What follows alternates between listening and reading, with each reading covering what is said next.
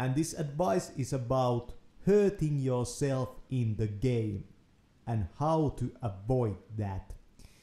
As you understand, each endeavor has different risks related to it. When you go overboard with something and when you use a wrong strategy by practicing wrong or using your time wrong or just plain trying too hard, you might end up injuring yourself so that you have to stop. And guess what? Your progress halts.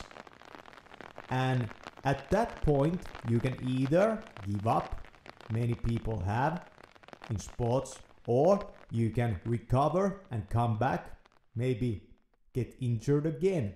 I'm not a sportsman anymore. I used to be. I got injured and it wasn't fun. It really wasn't fun when the pain came. I mean, the real pain. But those experiences of winning, they gave me huge confidence into my future that if I can succeed in this, I can succeed in that. A very, very important coaching lesson for you